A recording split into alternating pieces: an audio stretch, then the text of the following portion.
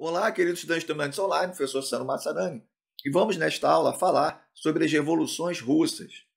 Geralmente também o assunto é, é explicado como Revolução Russa de 1917, mas como nós tivemos um movimento importante em 1905 e foram duas revoluções em 1917, ou dois movimentos revolucionários em 1917, eu prefiro chamar de revoluções russas. Mas se vocês também esbarrarem em Revolução Russa, geralmente refere-se a todo o processo que vai culminar aí com a formação do primeiro país socialista da história, a Rússia. Bem, temos aqui a imagem do principal líder da Revolução Russa e de seu desdobramento inicial, Vladimir Lenin, que é um conhecido teórico também do socialismo, do próprio imperialismo também, tem textos falando sobre o imperialismo. O Lenin vai ficar boa parte né, da, do início do século XX exilado na Europa e vai retornar para participar dos eventos de 1917. E nós temos aqui uma foto é, da família real russa, com o czar no centro, o czar o imperador Nicolau II, as suas filhas, o filho Alexei, que tinha uma saúde muito debilitada, e nós temos atrás soldados cossacos, que faziam parte da segurança do imperador né, da proteção aí do Império Russo. Vamos falar, pessoal, um pouquinho então da Rússia pré-revolucionária, para a gente entender o contexto que vai levar aí os desdobramentos revolucionários. A Rússia era um dos países mais atrasados da Europa. Ela não vai fazer a sua revolução, a revolução industrial, né, no seu processo desde o século XVIII. A Rússia ela vai é, ser muito atrasada nessa, nesse quesito em relação à indústria. Era governada por uma monarquia absolutista, era um império, o czar que vem aí uma variante do César, como era chamado, chamados imperadores romanos. Então, quem governava a Rússia era o imperador o czar, ou czar, pode aparecer com T também, e vai manter diversas características aí do antigo regime do feudalismo. Inclusive, a servidão na Rússia ela só vai ser abolida na segunda metade do século XIX.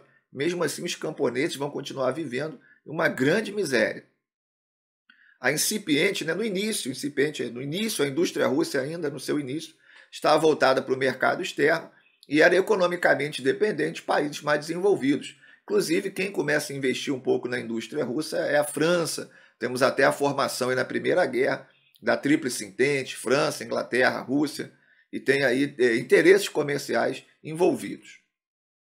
A Rússia era um país muito agrário, né, de elevada desigualdade social, como já comentamos falando dos camponeses. Aí os camponeses eram explorados pelos grandes proprietários rurais chamados de kulaks, termo que após a revolução passou a ser meio genérico, designando qualquer traidor do movimento. Então, o kulaks é o grande, é o grande, são os grandes proprietários rurais e os camponeses estavam, apesar da servidão ter oficialmente acabado, era um regime muito exploratório. Vamos agora falar do movimento de 1905, chamado Ensaio Geral ou Domingo Sangrento. É, temos aqui um, um, desenho retratando a violência, né, a repressão que esse movimento vai sofrer pelas tropas cossacas. Então, o que foi o Ensaio Geral de 1905? Que muitos historiadores já colocam dentro do contexto das revoluções russas. Na nossa aula de imperialismo, comentamos que a Rússia vai, em 1904, 1905, estar numa guerra pesada contra o Japão, por posses aí de territórios na Ásia. E a Rússia vai perder essa guerra de forma é, muito impactante. O Japão estava muito mais bem preparado, com o exército muito mais bem preparado que o exército russo, e isso vai jogar a Rússia numa grande crise. Então, vamos lá, em 1905 a Rússia perde a guerra contra o Japão pela posse de territórios na Ásia, como a Manchúria, intensificando os problemas internos e mostrando a fragilidade do sistema czarista.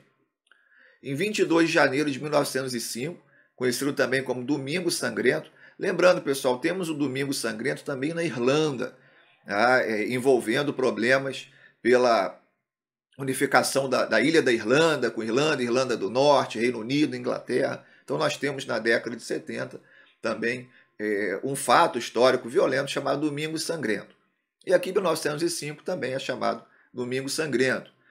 Houve uma manifestação pacífica de trabalhadores desejosos de melhores condições, que é massacrada pelas tropas né, cossacas do Nicolau II, provocando uma revolta geral na população. E aí o czar, visando amenizar os problemas, teve muito impacto essa revolta, teve desdobramentos na marinha, teve, é, foi uma situação muito delicada que o imperador passa a sofrer, ele precisa resolver esse problema.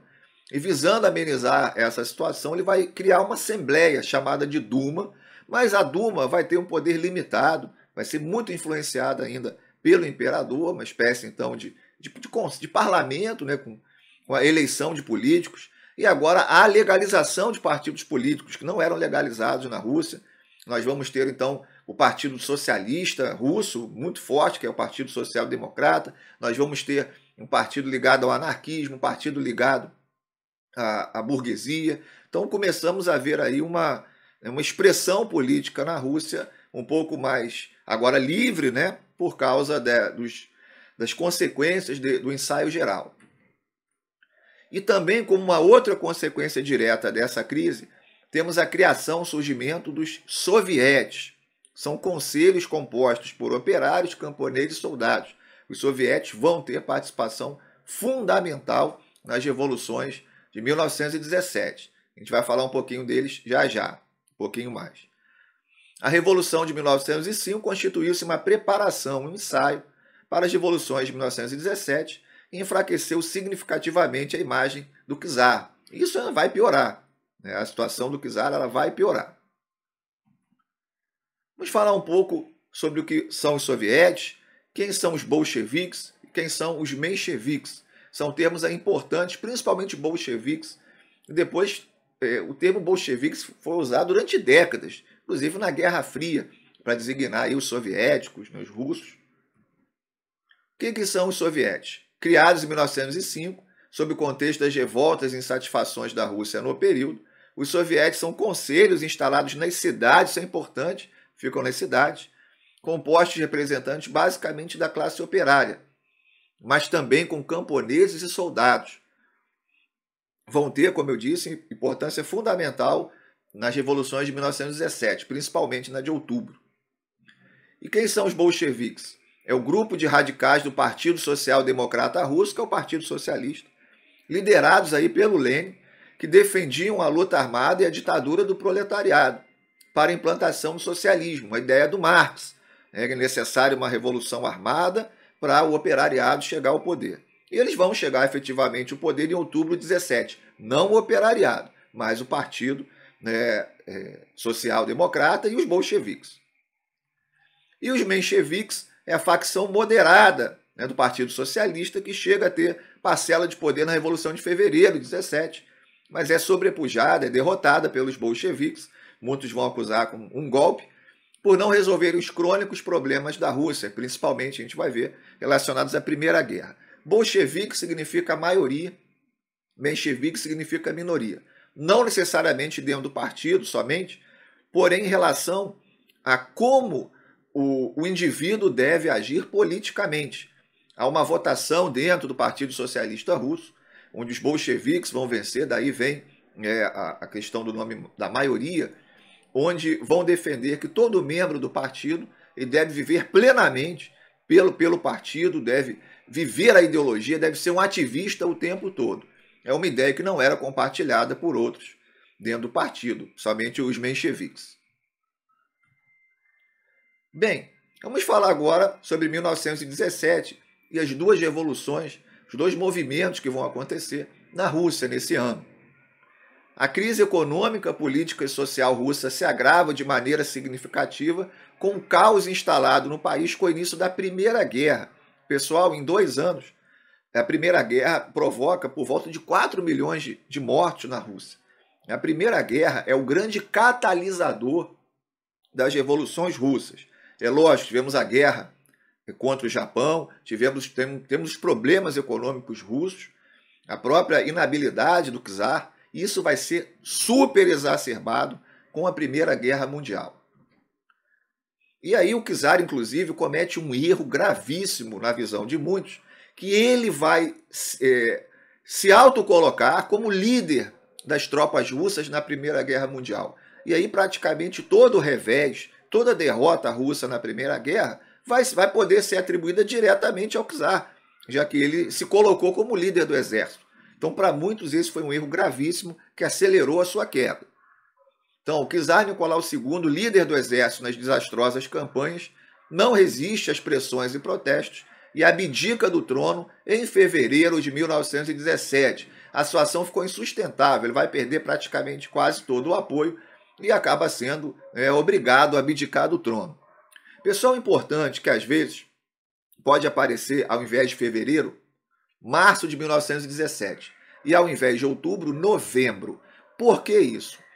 A Rússia ela estava ainda com o calendário romano do Júlio César, onde tinha aí uma defasagem por volta de 15 dias em relação ao calendário gregoriano, que era usado já no, é, no mundo ocidental. Então, nós, enquanto era fevereiro na, na Rússia, já era março para a gente aqui. Enquanto era outubro na Rússia, era novembro. Então, caso vocês né, se esbarrem aí, esbarrem com, com Revolução de Março 17 ou novembro 17. Eu prefiro usar realmente o calendário né, da, da Rússia, fevereiro e outubro, que é o mais usado nos livros, etc. No lugar do czar, isso em fevereiro de 17, vai assumir um governo provisório liderado pelo moderado Alexander Kerensky, com a participação de liberais e de mencheviques, né, liberais do Partido Cadete.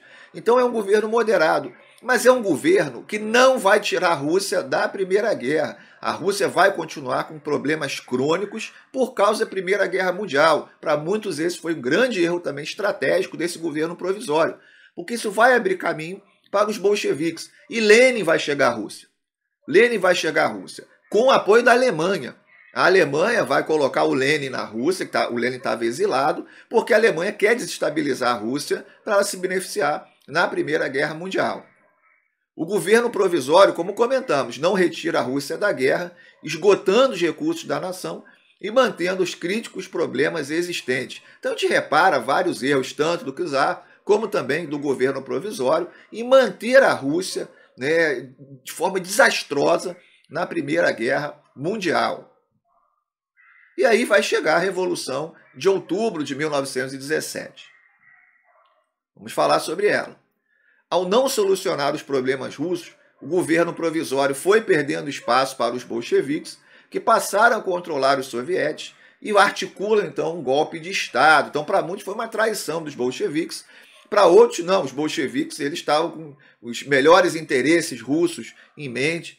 Então há uma discussão dentro do próprio própria teoria socialista aí, dos próprios desdobramentos futuros né, das discussões sobre o socialismo com a liderança de Lenin, de Leon Trotsky, falaremos né, do Trotsky na, numa outra aula sobre a era stalinista, os bolcheviques, Trotsky vai criar o Exército Vermelho, né, famoso exército soviético, os bolcheviques assumem o poder em 22 de outubro, né, no calendário russo, como comentamos. Os bolcheviques retiram a Rússia da guerra e assinam né, com a Alemanha o Tratado de Brest-Litovsk, que é um tratado amplamente favorável aos russos, vão perder muitas terras, mas vão sair da guerra. Isso, de certa forma, vai amenizar um pouco a situação é, de caos que a Rússia vai estar vivendo com a Primeira Guerra Mundial. E aí, como geralmente né, se sucede a implantações de governos socialistas, vamos ter medidas de caráter altamente intervencionistas, é, como estatização de toda a economia, confisco de propriedades privadas. Só que logo após a Revolução de Outubro, nós vamos ver o início de uma pesadíssima guerra civil na Rússia, para ver quem vai se estabelecer no poder. Esses são os bolcheviques ou quem se opõe à Revolução Bolchevique. Então, logo após o golpe, a chegada dos bolcheviques no poder, se inicia uma violenta guerra civil que vai durar até 1921. Estabelece ainda mais as bases do socialismo russo ao desapropriar grandes latifúndios e nacionalizar empresas. Geralmente são medidas que a gente observa em quase todos os governos socialistas. Nacionalização de empresas, de propriedades privadas, né, grande, um grande movimento de estatização. É, inclusive, nessa guerra civil, temos a luta do chamado Exército Vermelho, criado pelo Trotsky, é, é, ao lado dos bolcheviques, e o Exército Branco, onde várias potências internacionais vão também mandar soldados, inclusive próprios Estados Unidos, Inglaterra. Então já começa a haver aí né, um temor de algumas nações do mundo ocidental, né, da Europa, né, próprios Estados Unidos também, em relação à vitória dos bolcheviques na Rússia e a implantação de um governo socialista. O Lenin ele vai implantar, o Lenin se estabelecendo no poder, ele vai implantar, implantar a nova política econômica, chamada de NEP, em 1921, logo após a Guerra Civil. Qual era o objetivo da NEP? É, recuperar a economia russa em gravíssima crise desde o início da Primeira Guerra. A NEP, pessoal, foi uma política mista de capitalismo e socialismo, onde as grandes empresas e terras continuam pertencendo ao Estado, mas há uma abertura à propriedade e ao comércio privado, em pequena e média escala. Ou seja, as grandes propriedades, grandes empresas continuam no Estado. Pequenas e médias podem ser privadas. Então há uma abertura, é a famosa frase, vamos dar um passo para trás para depois darmos dois passos para frente. Uma frase que simboliza muito a nova política econômica. E, de certa forma, consegue os seus objetivos, porque os índices econômicos russos vão retornar ao período anterior à Primeira Guerra Mundial. Não eram bons índices, lógico, a Rússia antes da Primeira Guerra também estava em crise, mas era um sinal de que. É interessante porque a gente vai ver é, nas aulas de Guerra Fria, a gente comenta sobre a China e também no curso de Geografia comentamos sobre a China e o chamado socialismo de mercado, onde você há, há uma abertura ao capitalismo e, de certa forma, isso propicia o crescimento econômico. Se a gente observar, isso acontece aqui na NEP. Mas depois é, a União Soviética não vai adotar mais isso. A gente vai ver os desdobramentos quando a gente falar sobre a era stalinista, em uma outra aula. Em 1922 é criada a União das Repúblicas Socialistas Soviéticas, a partir da Rússia e diversas outras repúblicas vizinhas. É, a, é, tivemos um congresso geral aí com todos os sovietes. Isso vai estabelecer então a União Soviética, ok? Então, o primeiro governo socialista estabelece na Rússia, 1917, e cinco anos depois temos a formação da União Soviética. Que, que vai acontecer, pessoal? A história ela é imprevisível, né? assim como a vida. A gente não tem como prever o que vai acontecer amanhã, nem na história, nem nas nossas vidas. O Lênin, então, ele vai ficar com a saúde muito debilitada. Ele vai, entre outros problemas, o mais grave, que ele sofre um acidente, um AVC, né? um acidente vascular cerebral. Depois, no total, se não me engano, foram três, o terceiro foi gravíssimo. E ele, vindo logo depois, viria a falecer. Ele vai ser afastado do poder. Então, é, logo após a formação da União Soviética, é, temos aí o afastamento do Lenin. Então não temos como prever como seria a União Soviética com o Lenin no comando. É, o historiador ele não é evidente, não, não consegue, não, tem, não temos como prever. O fato é que Lenin é afastado, e isso vai abrir caminho para disputas internas dentro do partido para a sucessão de Lenin, que é o que nós vamos ver na próxima aula. Vamos ter aí uma disputa muito intensa entre o Stalin, Joseph Stalin, o homem de aço, o Leon Trotsky, e isso vai definir os rumos da União Soviética. Espero que vocês tenham aprendido bastante.